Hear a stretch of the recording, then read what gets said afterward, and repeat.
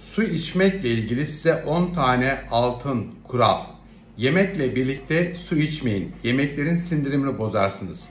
Bu nedenle yemekten yarım saat önce su içmeyi bırakın. Yemekten sonra da 1,5 saat sonra su içebilirsiniz. Öğün aralarında yudum yudum e, su için. Gece de rahat uyumak istiyorsanız birkaç saat önce su içmeyi bırakın. İkincisi sabah kalkınca 2 bardak ılık su için. İçerisine 1-2 tatlı kaşığı sirke katın.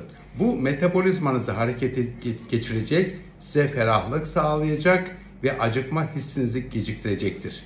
Üçüncüsü çok acıktığınız an su için acıkma hissinizin geciktiğini göreceksiniz.